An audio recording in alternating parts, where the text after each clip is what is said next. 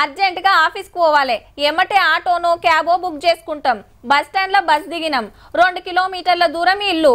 ఫోన్లో బుక్ చేస్తే ఐదు నిమిషాలల్లో ఆటో వస్తుంది. రాత్రిపూట బస్సు వచ్చే టైం దాటిపోయింది. ఇంటికి పోవాలంటే క్యాబ్ పట్టుకోవాల్సిందే. హిరామ్ లేకుండా ఇరవై నాలుగు గంటలు ఏ టైంలోనైనా ఆటోలు క్యాబులు దొరుకుతాయి.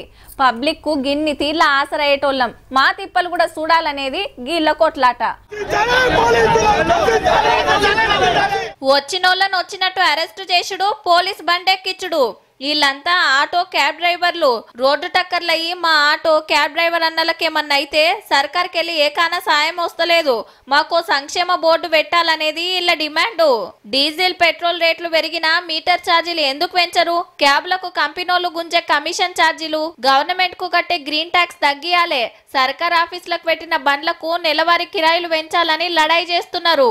రెండు వేల రెండులో ఆటో పర్మిట్ నిషేధం జరిగింది. ఇప్పటి వరకు కొత్త ఆటో పర్మిట్ లేవు. తక్షణమే కొత్త ఆటో పర్మిట్ ఇరవై వేలకు పైగా రిలీజ్ చేసి హైదరాబాద్ కలెక్టరేట్ ముంగట డబుల్ బెడ్రూమ్ల కోసం ఎర్రన్నల ఇమ్మతితోని ధర్నా చేసిండ్రు అక్కలు. లక్షల మంది దరఖాస్తులు పెట్టుకుంటే అసలు సర్వేనే చేయలేదట. ఏడు సంవత్సరాల నుంచి ఇంతవరకు డబల్ బెడ్రూమ్లు ఇవ్వలేదు. ముప్పై ఏళ్ళ నుంచి మేము బాసాల్లో పనిచేసి పనిచేసి కిరాయిలు కట్టుకోనికే సరిపోతుందన్న. ఉన్న వాళ్ళకు రెండు రెండు మూడు ఇస్తున్నాడు.